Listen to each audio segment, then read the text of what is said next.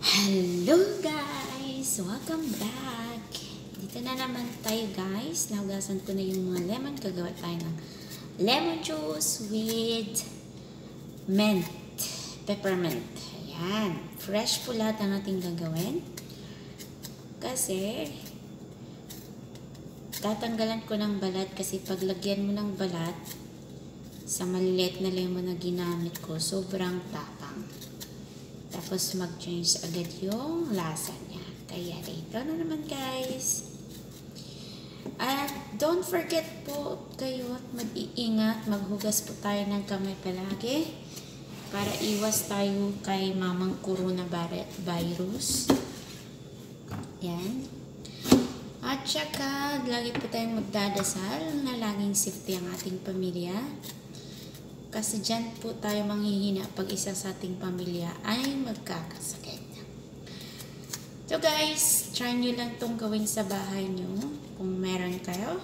This is a small uh, lemon. Ang tawag kasi dito is lemon sagir. Lemon small, ganun. Pero iba din kasi yung lime. Yung lime sa atin. Tapos yung limonsito sa atin. Iba yon Basta magkapamilya din sila ka mag-anak, siguro pamangkin, ganun. Kaya guys. But don't forget guys to click and subscribe to James James the Little OFW and the an Entrepreneur. Yan. Our, our YouTube channel. Click to subscribe guys to watch more video. This is the video of our family with the the mom the mommy the yaya and the James our little OFW and the Papa Chef. This is our kunin to natin ng konting lemon uh, buto kasi mabuto to eh. Pero minsan di ko na kinukunan. Mas maganda din kasi kunan para isa din to sa nagla, nag ano nagbibigay ng lasa. Lagay natin dito, maraming ice. Tapos, putak na, hindi naman pala lemon binitbit ko eh.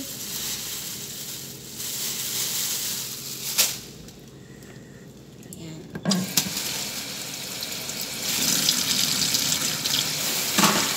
Chill-chill pala ito lang guys. Kuha natin ang ibang yan. Kasi ang kakailanganin natin dito ay maraming mint. Kaya need natin ng maraming mint para magiging mas tasty yung lasang lemon at saka mint talagang malalasahan mo. Yan. Tsaka napakasarap po na po. Tsaka na ihati. Ang hirap ko ng balatan kasi ang lili. Nakakatuklap ng ano, kamay. Pag hindi tayo mag-iingat. So, ito laging siniserve ko sa mga amo ko. Kasi lagi silang nagre-request ng ating lemon mint juice. Ito ay pwedeng panglaban sa coronavirus na pandemic. Meron din isang ano na lemon with ginger. Isa din yun sa nagustuhan ng amo kong lalaki. Tsaka yung bunsong anak ng amo ko. Ito naman yung sa mga bisita. Gustong gusto nila to. Kaya bawat pagpunta nila, hinahanap nila yung lemon juice ko. Kaya kayo guys, try nyo lang gawin to guys. Kasi, masarap naman. Try nyo lang. Huwag lang kayong magtipid sa ano. Kung gusto mo man masarap, huwag lang kayong magtipid. Sa lemon at saka sa mint. Nagbibidyo lang ako naman ito. Yan. Kuha mo na ako ng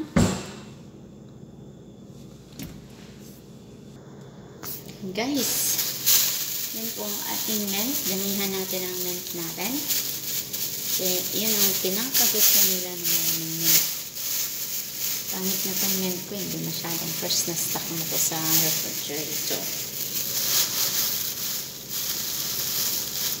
Ganito kadami ang mint natin ilalagay. Tatapang din yan. Hugasan ng maigi yung mint. Ginaganito ko siya para makawala yung mga butot balag. Subscribe po kayo guys sa ating click the link po para magiging mag-subscribe tayo sa ating YouTube channel. Ito po ay isa sa mga ginagawa ko dito pag merong bisita. Ko po ay tagapag-serve ng amo ko. Tagalinis ng kwarto niya. Kaya ang mahirap lang dito guys ay yung kasama ko.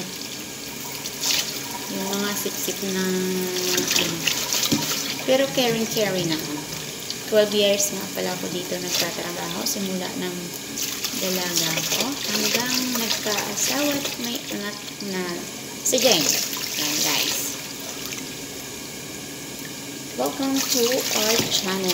Kung gusto kayong matuto sa isa sa mga ginagawa ko dito, mahirap maging katulong. Yun.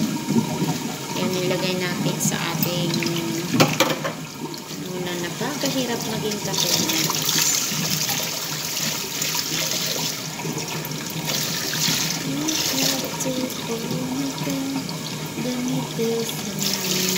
Ito guys, eh, hindi pa ako masyadong marunong mag-edit ng video. Kaya kung anong binibideo ko sa ano, wala nang edit-edit. Upload ko na lang agad-agad. Diba?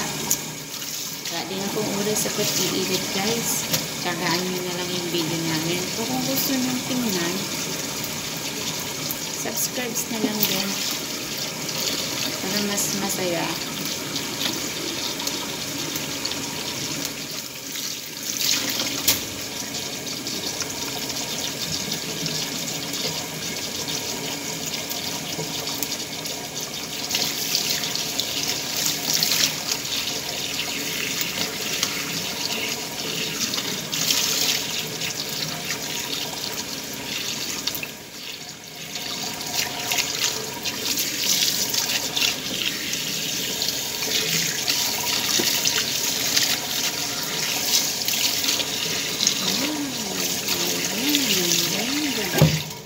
Tapos na tayo mag ano ng ating ano. Next natin gawin, lalagyan natin mga asukal at extra water. Ayan. Ito nga kami namimili. Malapit lang dito yung lugar namin. Sa supermarket nila. Hindi, yan, hindi naman sa amo ko, pero yung lugar namin malapit sa supermarket. Yan. Next natin gagawin guys is gagawa tayo ng ano i-blend natin. Tapos stop ko muna guys sa camera ko guys. Yan, ituhin natin guys ang ating video. Isang tasang asukal. Yan. Ito lang buong ano, lahat ng pa.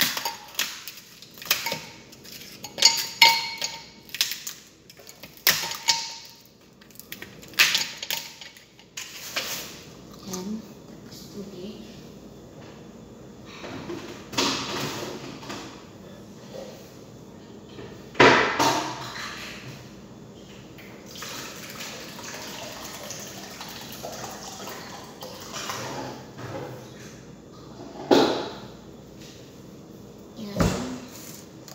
Yan. Meron po tayong ganyan.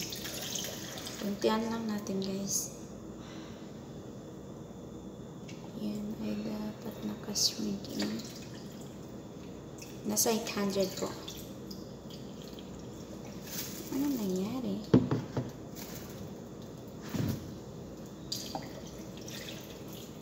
Yan, nasa 800 po. Kala ko yun. Kala ko. Yan, i-blend din natin guys. Tapos tingnan natin kung kinalalabasan. Yan na guys, ang ating lemon texture. Yan, nag-green na siya. Ito masarap guys. Tapos, i-strain natin.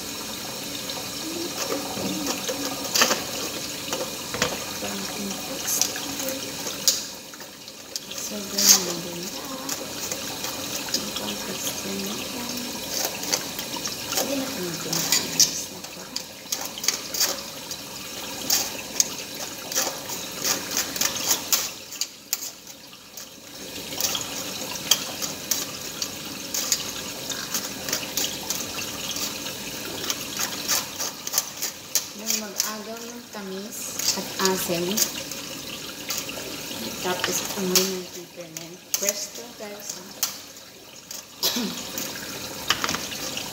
Para tayo sa.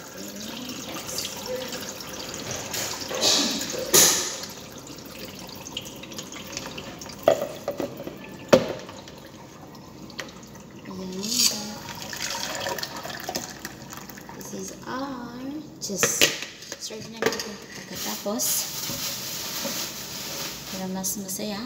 Serve na serve para mas masaya. Mamaya natin i-serve guys. Bye! Thank you and don't forget to subscribe. God bless everyone